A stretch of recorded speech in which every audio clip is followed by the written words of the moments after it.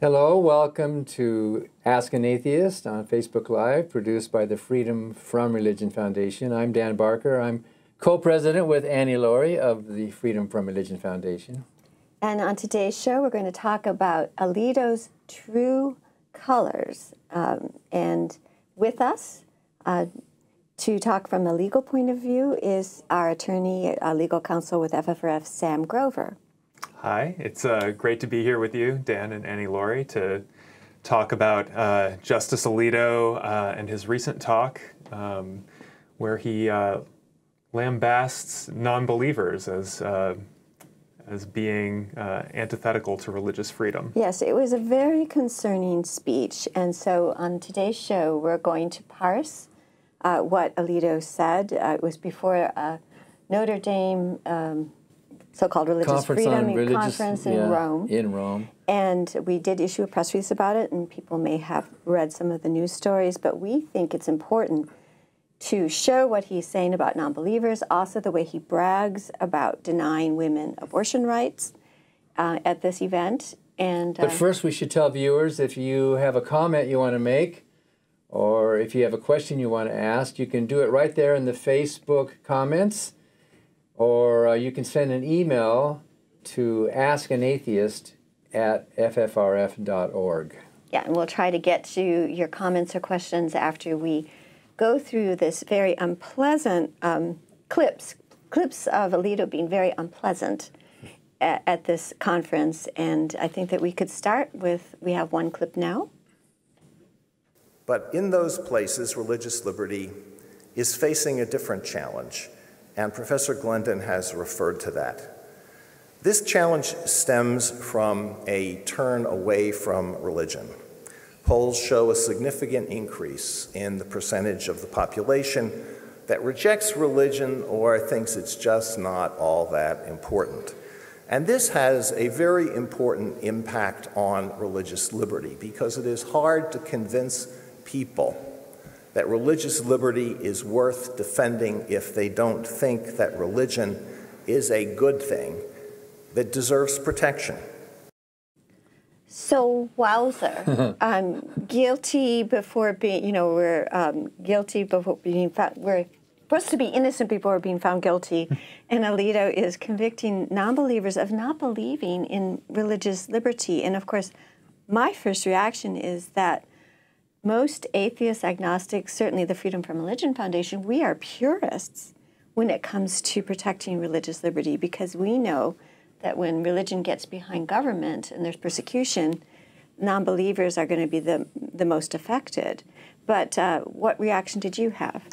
Well, yeah, um, certainly uh, non believers are beneficiaries of actual religious freedom, which is the, the, the right of conscience, uh, right? The freedom to believe or not believe whatever you want and not have the government uh, dictate that for you or to withhold the benefits of being a citizen uh, based on your belief or lack thereof. Uh, so uh, the idea that we're somehow uh, enemies of religious freedom is simply not true.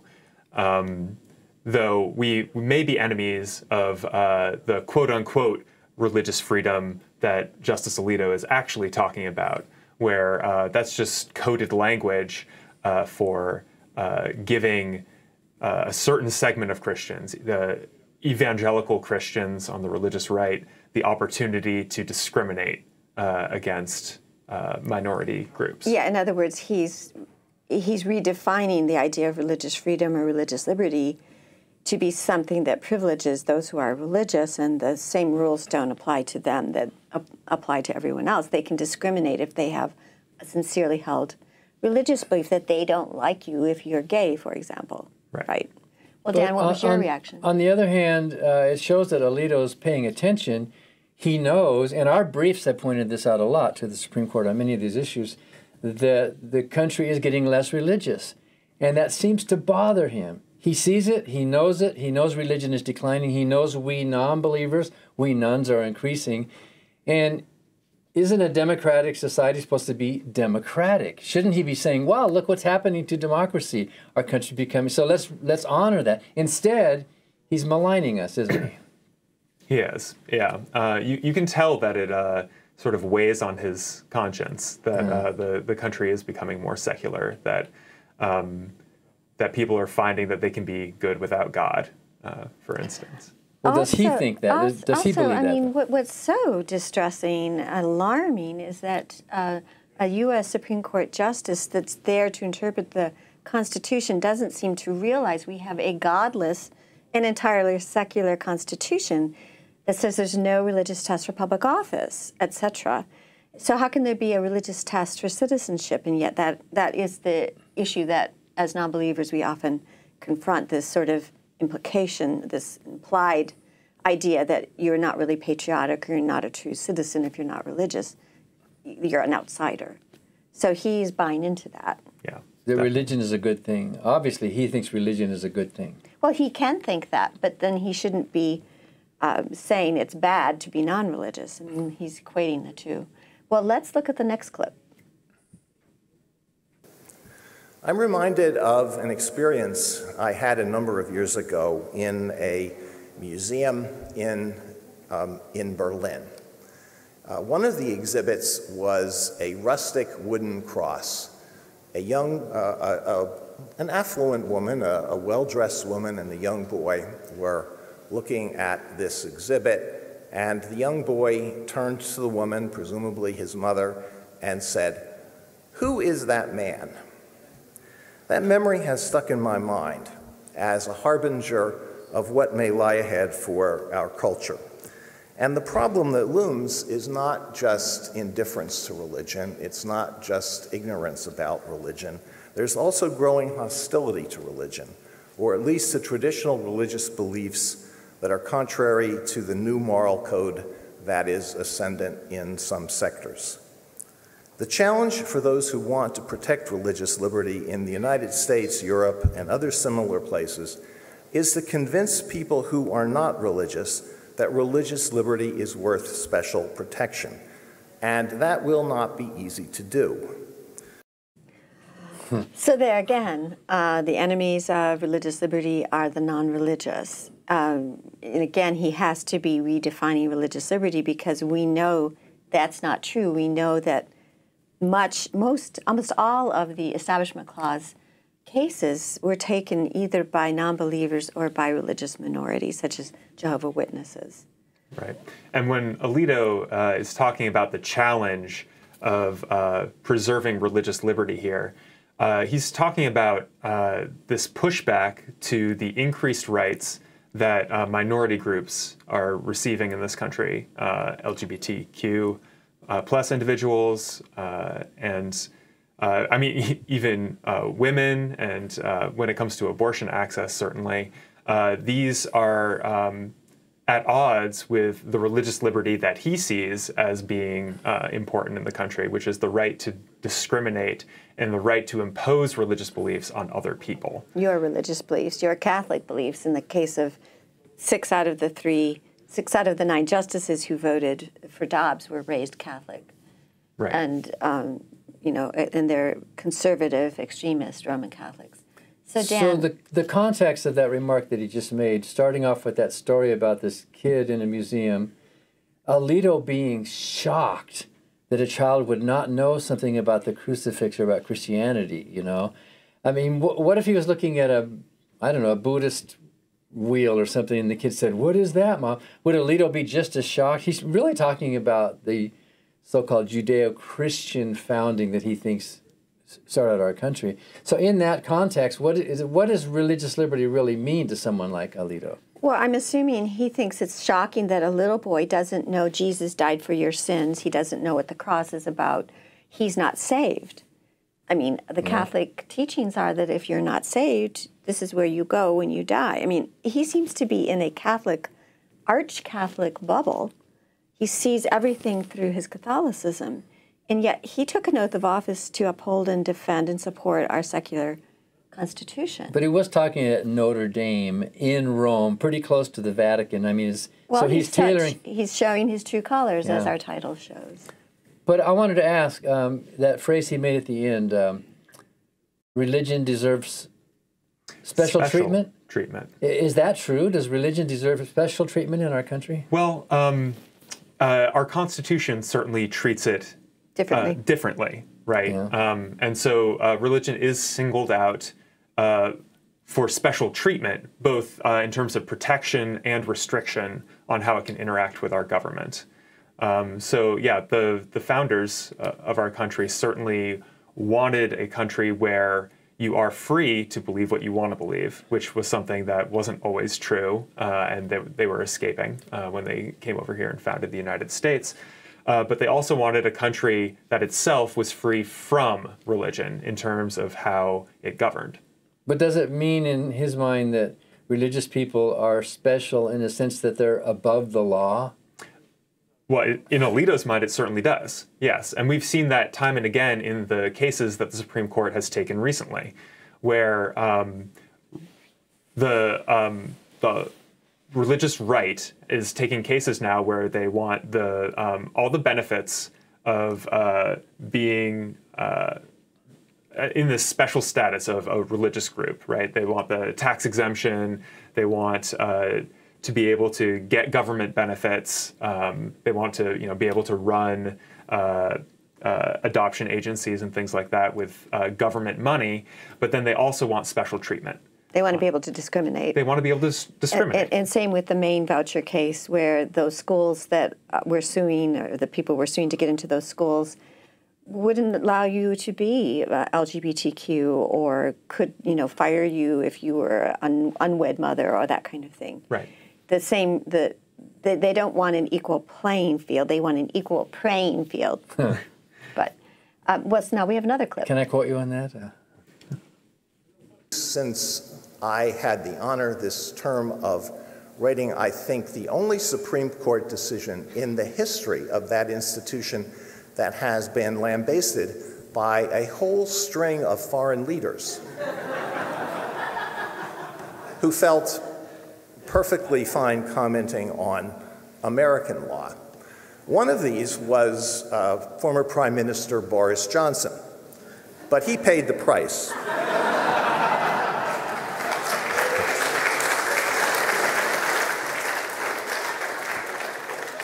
post hoc ergo propter hoc, right? but others are still are still in office. President Macron and uh, Prime Minister uh, I believe, are too. But what really wounded me, what really wounded me, was when the Duke of Sussex addressed the United Nations and seemed to compare the decision whose name may not be spoken with the Russian attack on Ukraine. Where to begin? This part was the most reprehensible to me. I, I mean, bragging about the Dobbs decision, which has thrown our nation into chaos and so many lives into crisis. You know, we see this every day, what's happening. And uh, so, th- is this the right temperament for a Supreme Court justice to be making these kinds of comments about world leaders?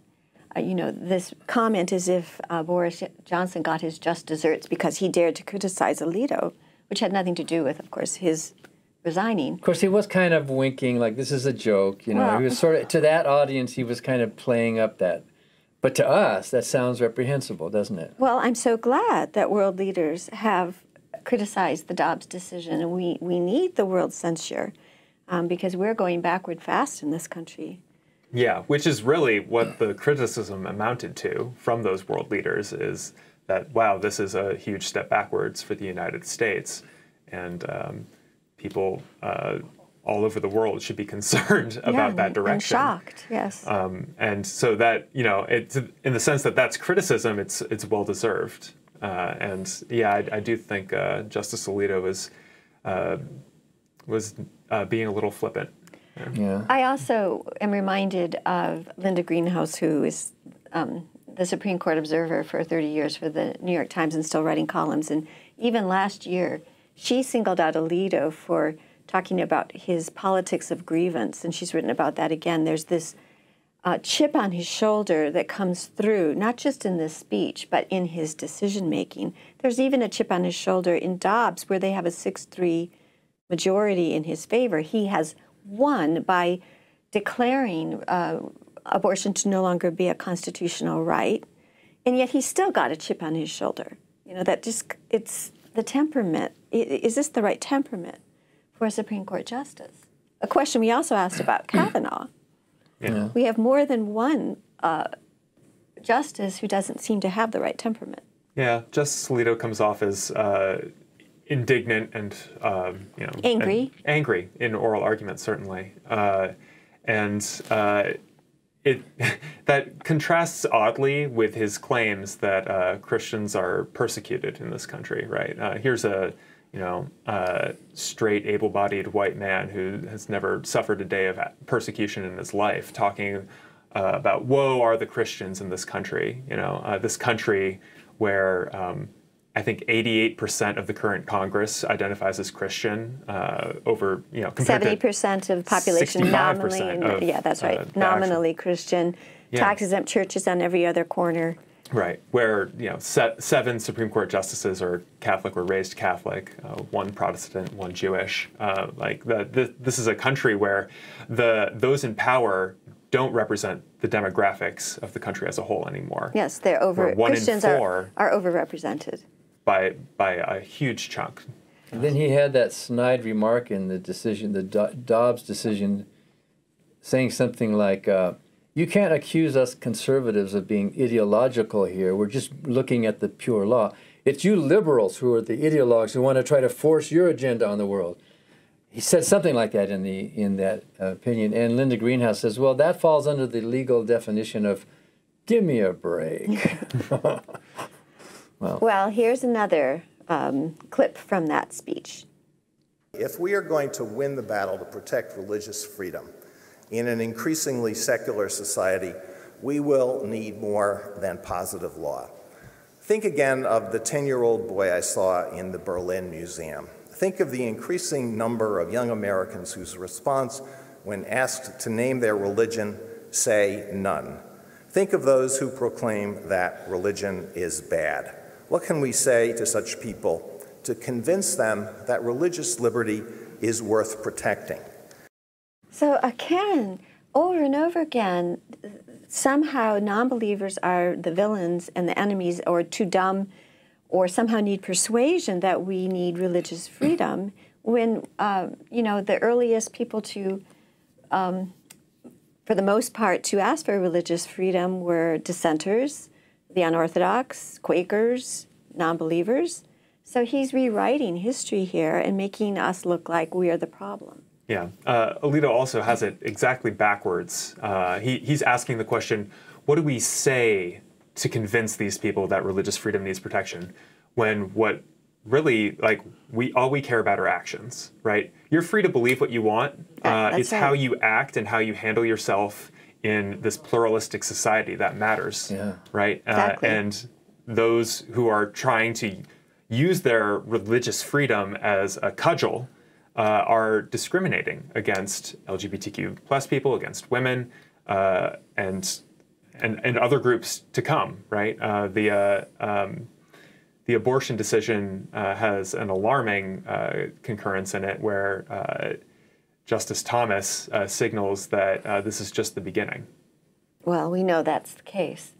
Did I hear that right when in his talk just now that he's equating the nones, N O N E S, with anti religious? Because not all nones are anti religious. I mean, I would consider myself to Well, be he said hostile to religion. hostile.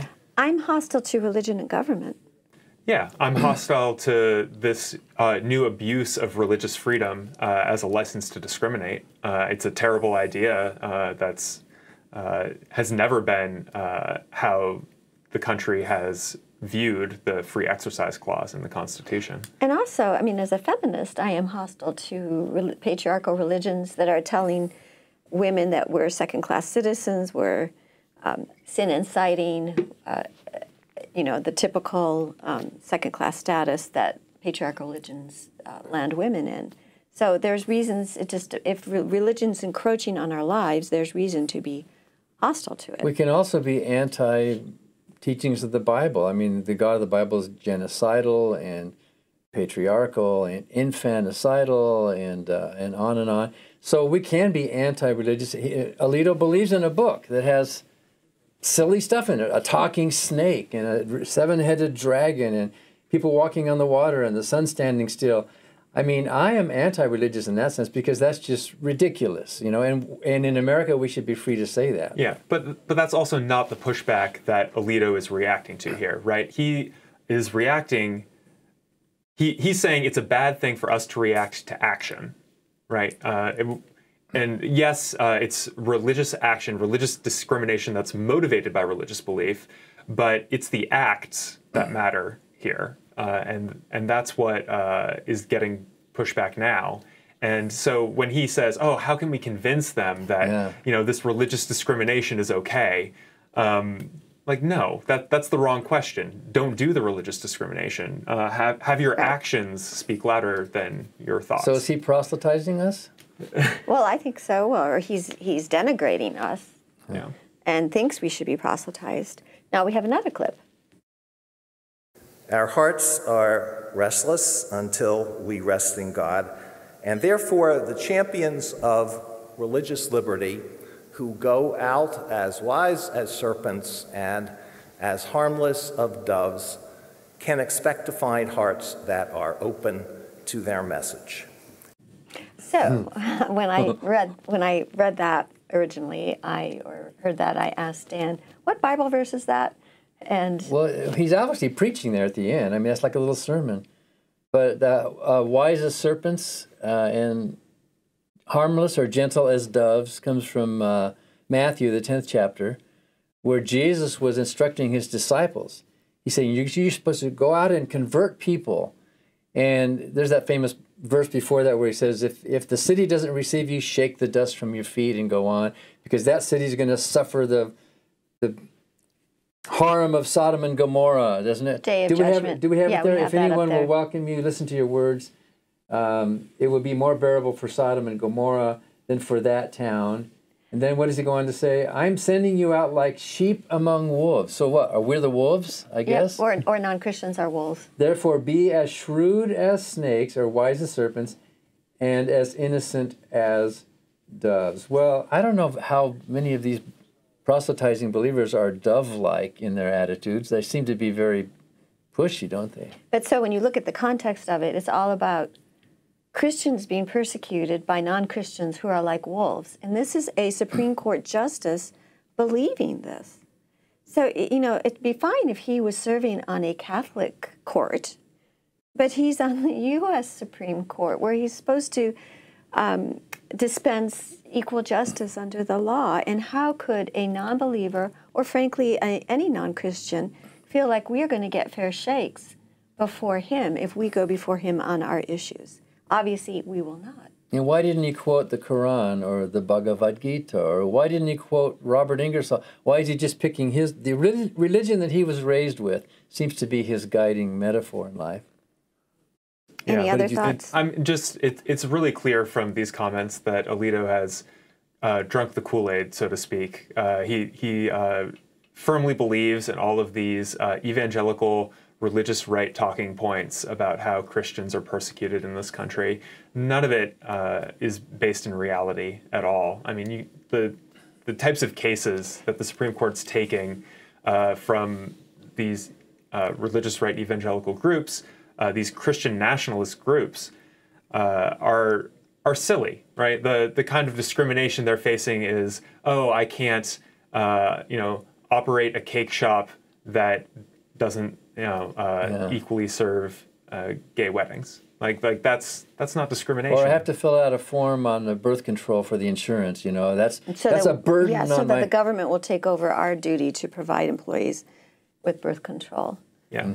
These are just the realities of operating a public business in a pluralistic society. And it's not a big ask.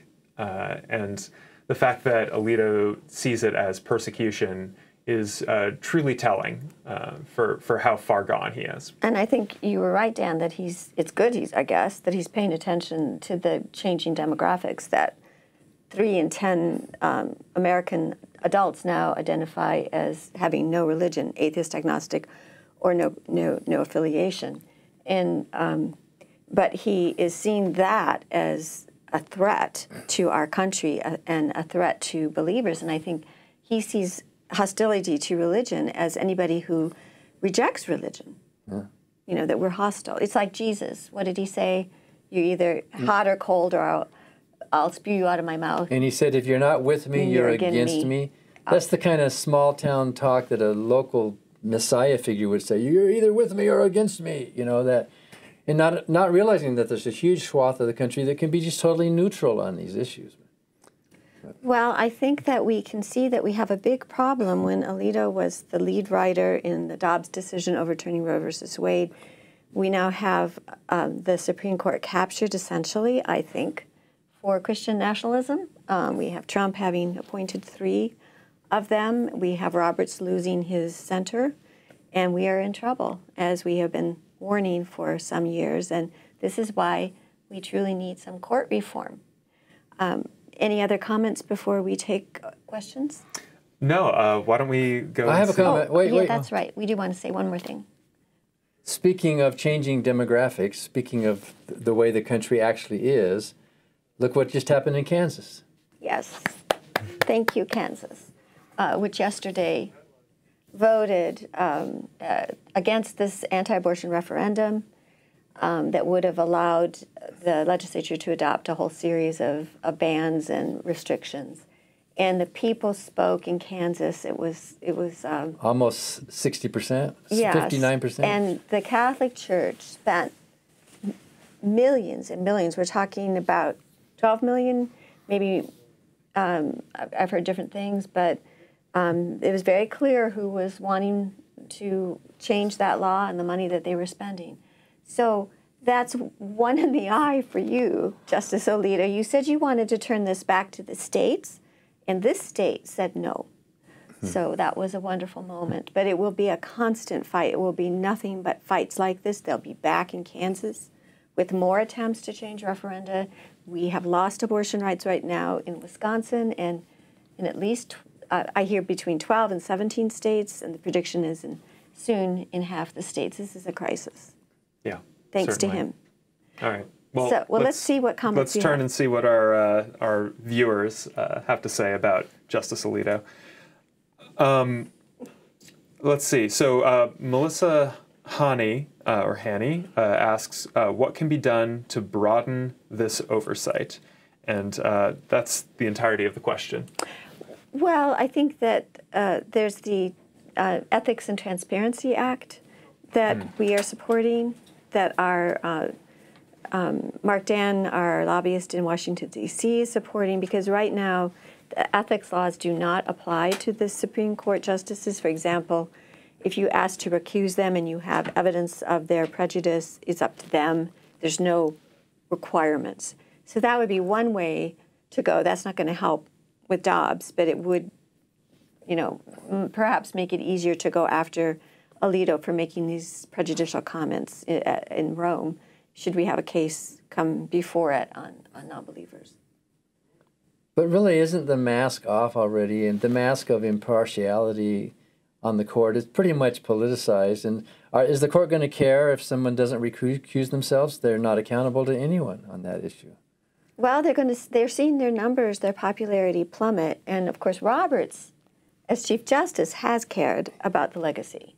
He's looking at history, but the rest of them just look at power right now. They've got it, and they're Yeah. going to do what they want with it. That ties into uh, one question we have here from Robert Hunter, who uh, asks How do we pressure John Roberts into enforcing a strong code um, of Supreme Court ethics?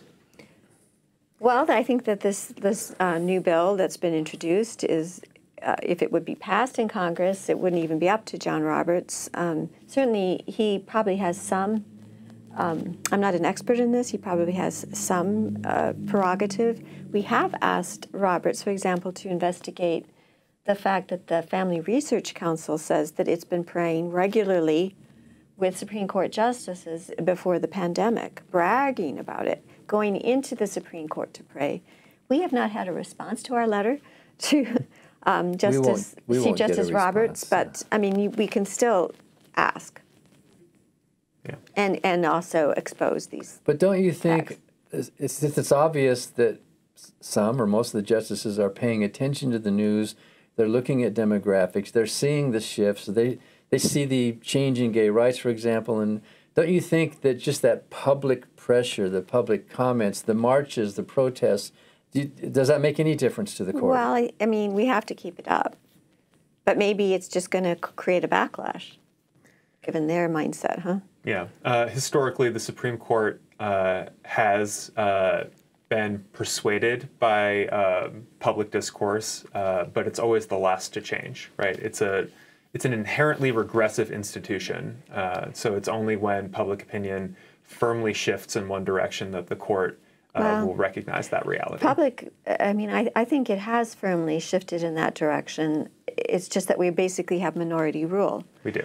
We have um, minority rule in the Senate with the filibuster. We have minority rule in a state like Wisconsin, where we have gerrymandering. That means that there's minority rule in our legislature. I mean, this is happening all over the country. So, um, you know, whether the majority of people believe in abortion rights is no longer just the issue. It's can we vote that way? Is our vote going to count? Yeah, and that's the danger with uh, letting. I mean, Christian nationalism is not a popular perspective uh, in this country, even amongst the religious. But um, But it's overrepresented. it's far overrepresented, and now seems to be um, the predominant view on our Supreme Court. That's right. It's scary. It is very scary. All right, so uh, next question we have. Uh, well, this is more of a comment from Leora Satter. Thank you for uh, submitting your comment, Leora. And here I was thinking that the Supreme Court was supposed to be apolitical and a-religious and to work toward the common good. But Alito treated serious issues like it was nothing uh, but material for his stand-up comedy routine. Yeah, yes, very good comment. Yeah, Um, Uh, I, I don't I don't think he's hit a tight five yet. I didn't find anything funny in there. no. And also laughing at the expense of all of this pain and suffering that he's inflicted. And, you know, even he had to know about that case of the 10 year old rape victim in Ohio who was nine when she was raped, having to cross the lines in Indiana to get an abortion. And now Indiana is debating a ban.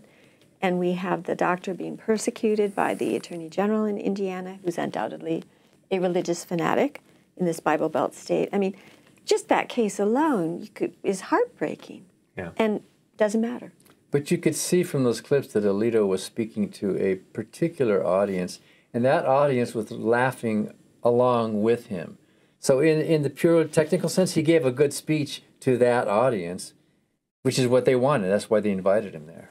Yeah, yeah. Uh, we have a, a couple other comments. Uh, Diane Roden asked a similar comment uh, to Leora about um, about the political nature of the speech. So, since when do members of the Supreme Court give political speeches? Is this a normal thing?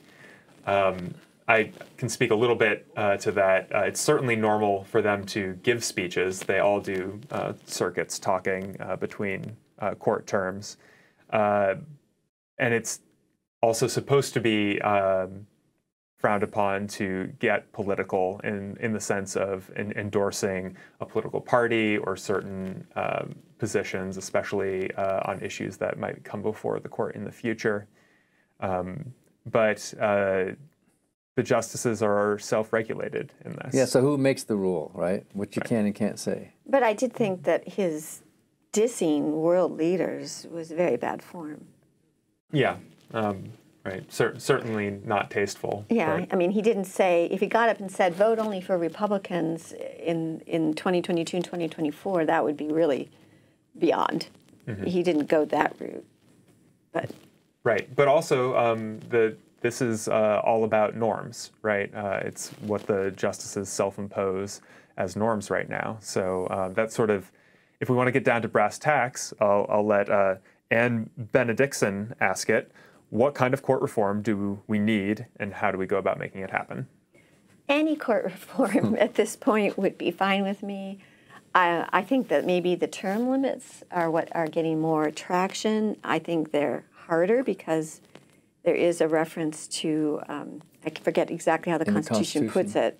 The Constitution talks about uh, a Life- life, appointment, and they're saying, well, they could be uh, a lifetime judge, and maybe they could go back to the appellate. I don't know if that will work. I mean, there are people suggesting that. Certainly, the legislation that FFRF has been very early to support is Mondaire Jones's Mondaire Jones's bill that was introduced um, last year to increase the court by four, which would be the lucky number of 13, because that would represent the 13 appellate districts, including the uh, military. And um, they used to do that. That's in the 1800s. Uh, They had as many justices uh, in some decades as they had appellate. That kind of makes sense. Um, I have also seen uh, suggestions for two replacements because of the stolen seats. Uh, Mitch Garland's stolen seat when they wouldn't hear his nomination by Obama, and then the uh, the uh, rushed uh, nomination of Amy Coney Barrett. Any of these things we would be happy with? Do we see momentum in Congress? Not really. Do we even see many organizations like FFRF asking for court reform? It just seems to be this untouchable thing, and we would love to see more conversation. A year ago, I was at a, a meeting with the um, um, the coalition group. Um, um, sorry, that all the civil rights groups belong to, and I was the one saying, if we don't do court reform, we can't hold Roe. I mean, it was obvious. It's, but But we couldn't have done anything at that time Well, anyway. no, we could have. We were out trying to get court reform. We were trying to get groups to endorse court reform, and we were But responding isn't to it Biden's still a task problem that the Senate is minority rule? The justices have to. Well, be yes, confirmed. but you at least have to have some momentum. You have to have people signing on in the House, so you you have to see enthusiasm, and they're all afraid of it. And Biden's commission was a no not, nothing do nothing commission. It was never supposed to actually even suggest options, and they, you know, there were some dissenters on that, but they basically, you know, I think they said we can explore term limits. I- But I would be happy with anything.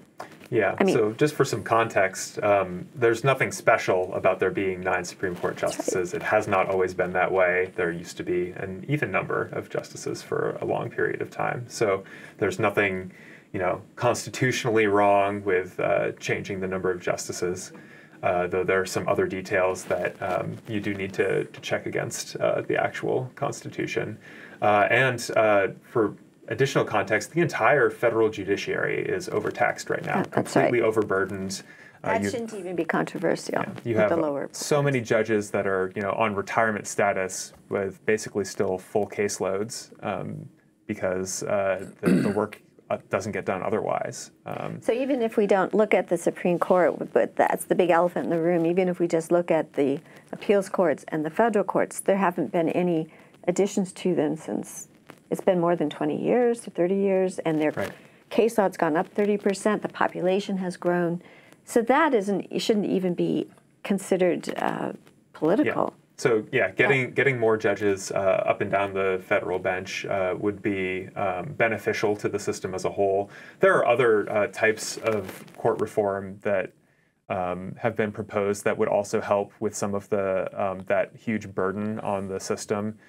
There's um, one of the huge issues with the system is how much litigation is these, you know, multi-billion dollar uh, corporations uh, suing each other over things where uh, the amount of money and controversy just makes it uh, incentive-wise that litigation just makes financial sense, even though um, you know, uh, settling out of court. Uh, if, if it was you or me, uh, you know, uh, with a lawsuit for a much smaller amount of money, you know, obviously we would settle because uh, the court fees uh, and you know the paying for lawyers becomes a problem then. Um, so there, there are these other burdens on the system that uh, should be addressed that need somehow. reform. Yeah. Um, and I understand why people are saying, well, if, if it's just going to be every time the court does a decision that you don't like, you add a justice.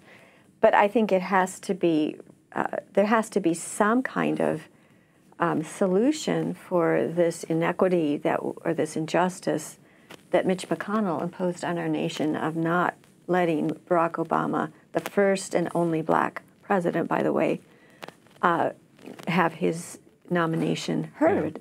This was a total injustice, and it was for partisan political reasons.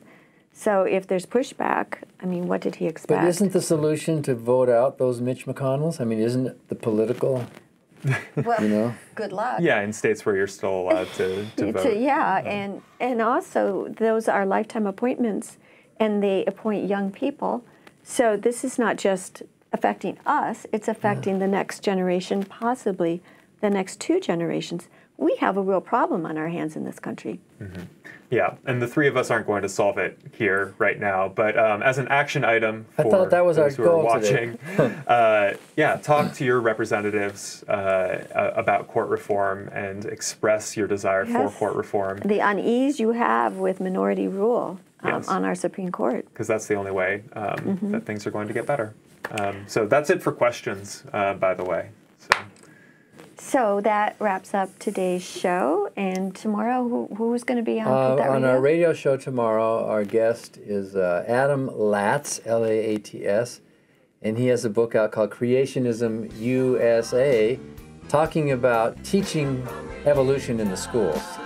And if you haven't listened to Jana- July's We Dissent podcast yet, that features FFRF Legal Director Rebecca Markert and attorney Liz Cavell, uh, as well as other secular women attorneys, that topic is the very timely Dobbs decision on abortion. So you don't want to miss that. Thanks for watching Ask an Atheist. We'll be back next week at noon central on Facebook Live.